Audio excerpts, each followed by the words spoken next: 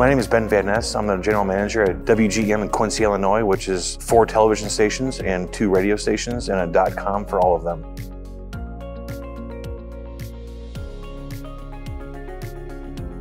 Gray's culture their belief system, their localism, their corporate citizenship. I mean, what they do is what we did at Quincy. And the sense of relief that the staff felt, that I felt, has really been a, a very positive. I think the other unique thing that stood out was, you know, Gray Television's corporate staff, the transition has been incredible. Everyone was buttoned up, they knew what was coming, they were ready for us, and they made it very, very painless on myself and the whole rest of the staff. By sheer definition, Gray size allows the resource pool to become much larger. Recruiting people will be much easier. Sharing content will be much easier. Keeping people within the same organization will become much easier. Having current employees see a, a place they can grow into and a place that might be closer to home is going to be a, a very strong recruitment tactic and retention tactic. And the vision from Gray catches your attention. I mean, a lot of us have been in this business for a while. The distribution, the entire foundation, it's beyond world class. And I worked with thousands of stations, um, many different ownership groups. I've never seen at any of those